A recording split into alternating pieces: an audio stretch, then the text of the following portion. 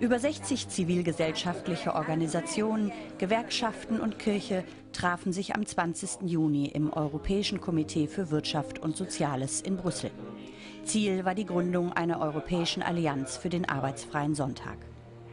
Im Rahmen einer Expertenkonferenz zu den Auswirkungen von Sonntagsarbeit wurde die Grundlagenerklärung gemeinsam für menschenwürdige Arbeitszeiten unterzeichnet. Sie beinhaltet den Schutz und die Förderung des arbeitsfreien Sonntags sowie menschenwürdige Arbeitszeiten in Europa. Hier hat sich heute die Europäische Allianz für den freien Sonntag gegründet. Ist das eine Chance, diese, ja, den Druck auf den Sonntag rauszunehmen und wie sieht der Sport das? Ja, also ich denke, ähm, dass äh, die Gründung dieser Allianz eine sehr wichtige Initiative ist, die zu einer sehr äh, richtigen Zeit auch kommt. Ähm, gerade jetzt in Zeiten der Wirtschafts- und Finanzkrise ähm, geht immer mehr der Trend hin zur Flexibilisierung der Arbeit. Und äh, da geraten natürlich auch ehrenamtliche Tätigkeiten und Freiwillige immer stärker unter Druck. Und aus diesem Grund ist das eine, äh, eine, eine Initiative, die sich aus Perspektive des organisierten Sportes sicherlich unterstützen lässt.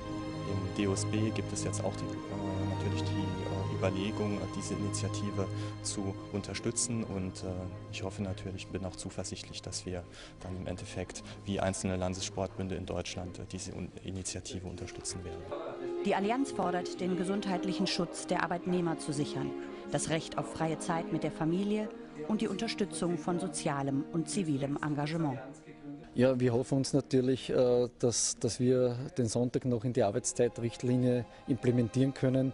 Ich habe jetzt äh, in Österreich eher die Erfahrung gemacht, dass alle Politiker, äh, die man damit befasst oder darüber anspricht, sagen, oh, um Gottes Willen, da ist ja so viel Schlimmes noch drinnen und wir müssen das ja alles verhindern. Und wenn wir jetzt mit dem Sonntag auch noch anfangen, dann werden wir gar nicht fertig. Meine Zielsetzung ist natürlich, dass wir das implementieren können.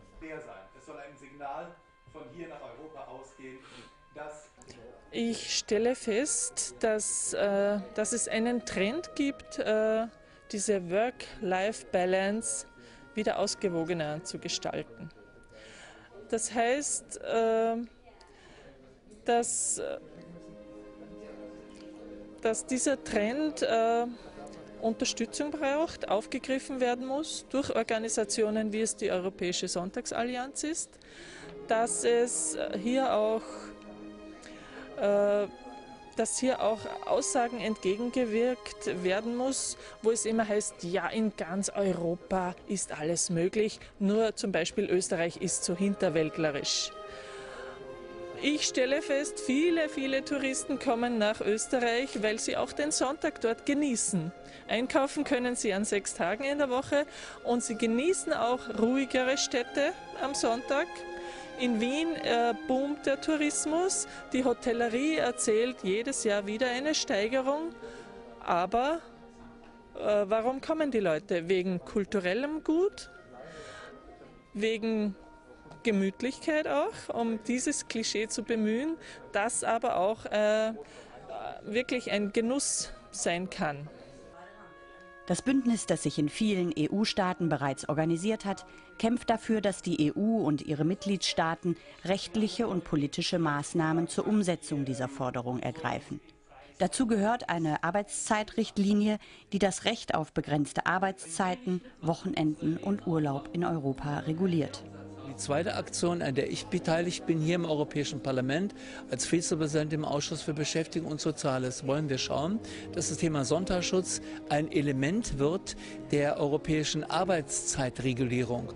Das ist nicht einfach. Wir haben eine Revision auf dem Tisch, ob wir das integrieren können und an welchen Stellen oder ob die Idee kommt zu sagen, nein, das muss von den Mitgliedstaaten behandelt werden. Das sind jetzt Verhandlungen, die wir gerade mitführen. Der Druck bei der Europäischen Kommission ist angekommen. Die wissen das sehr wohl. Wir lassen lassen auch nicht nach. Und wir versuchen wirklich an Bord zu sein, so rasch wie möglich und dafür zu sorgen, dass eben die Europäische Kommission das ernst nimmt, was wir an großen Bedenken hatten. Das weiß sie auch. Und es gibt nicht nur Leute, die sagen können, wir wollen das gar nicht behandeln. Ich glaube, der, die Chance ist da zu sagen, Europa mischt absolut mit.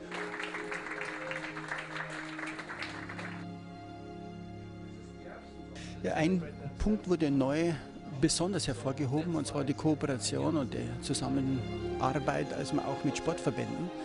Und darüber hinaus gilt es auch nochmal zu sehen, wie es uns gelingt, also Kulturorganisationen mit einzubeziehen, weil die Frage des freien Sonntags betrifft ja nicht nur Christen und betrifft nur Gewerkschaften und betrifft nicht nur die Arbeitsbedingungen, sondern in gleicher Art und Weise auch den gesamten gesellschaftlichen Bereich. Und von daher gesehen ist es wichtig, möglichst viele Organisationen mit einzubeziehen und mit in die gesamten Überlegungen auch zu beteiligen.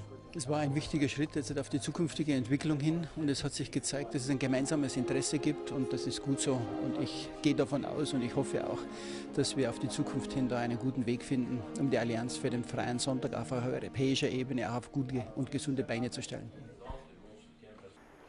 Europa braucht den freien Sonntag.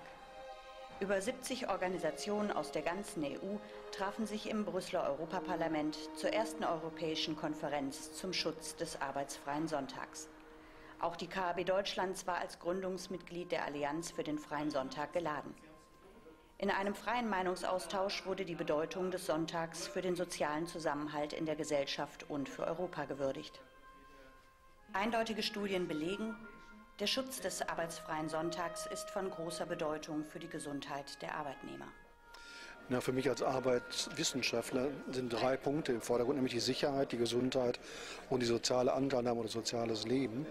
Und in allen drei Bereichen finden wir deutliche Beeinträchtigungen. Etwa bei den Unfällen geht es rauf um das 1,3 bis 1,5-fache, das Risiko, wenn Sie sonntags arbeiten.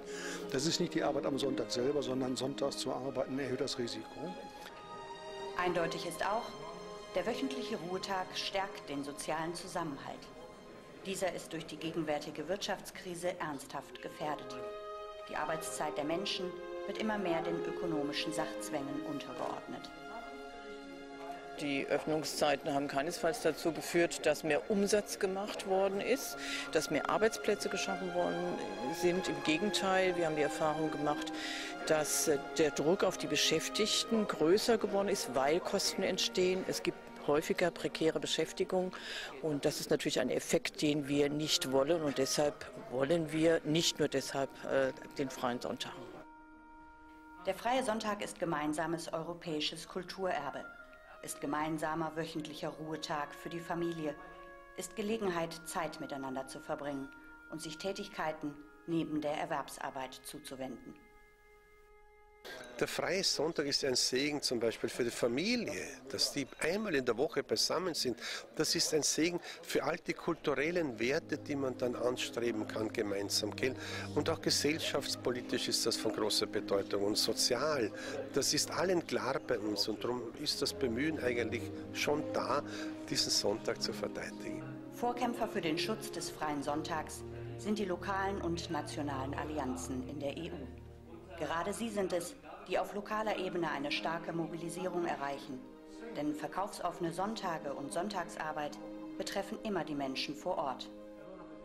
Ja, wir haben ja in Bayern 40 regionale Allianzen und die versuchen das tatsächlich teilweise. Zum Beispiel im fränkischen Bereich haben wir jetzt ähm, eine Initiative, dass man versucht, in, einem bestimmten, in einer bestimmten Region, dass alle kommunalen Sonntage äh, gleichzeitig stattfinden. So hat man dann zwar einen Sonntag so richtig verhunzt, aber dafür verteilt es sich nicht so über das ganze Jahr, dass immer irgendwo in Reichweite verkaufsoffener Sonntag ist. Und das wäre ein möglicher Ansatz vielleicht, aber die beste Lösung ist trotzdem die, dass man einfach alle verkaufsoffenen Sonntage oder zumindest die meisten äh, verhindert und dann hat man auch nicht diesen Wettlauf. Mit einem Bürgerbegehren legitimiert durch eine Million Unterschriften soll die EU-Kommission, die an einer neuen Arbeitszeitrichtlinie arbeitet, aufgefordert werden, den Schutz des freien Sonntags aufzunehmen und ein deutliches Zeichen für ein soziales Europa zu setzen. Der neue EU-Kommissar für Beschäftigung, Soziales und Integration, Laszlo Andor, der auch an der Konferenz teilnahm, nahm dazu Stellung. Uh, uh, also uh, die Konferenz heute hat uns noch einmal deutlich gezeigt, die Veränderung des Marktes und der Wirtschaft, besonders in der letzten Dekade, und die Bedürfnisse des Menschen nach Freizeit haben sich deutlich geändert. All dies müssen wir beachten, wenn wir uns mit der neuen Arbeitszeitrichtlinie beschäftigen werden.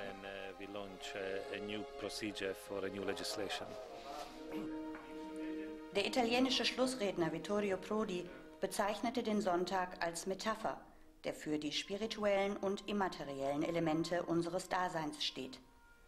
Er rief Europa auf, eine Diskussion über die Grundwerte unserer Gesellschaft zu starten. In einer Diktatur des Wachstums, die alle Ressourcen verbrauche, werde der arbeitsfreie Sonntag zum Schlachtfeld.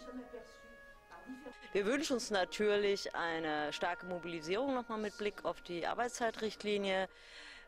Wenn wir den Worten gefolgt sind heute, dann dürfte das kein Problem sein, den Sonntag wirklich in die Arbeitszeitrichtlinie bekommen zu bekommen. Entscheidend ist nur, dass die Parlamentarier aller Fraktionen mobilisieren für diesen Sonntag und dass wir auch in Deutschland und in den anderen Ländern weitermachen in der Mobilisierung des Freien Sonntags. Wir brauchen Druck von der Straße, damit der Druck hier auch im Parlament deutlich spürbar wird.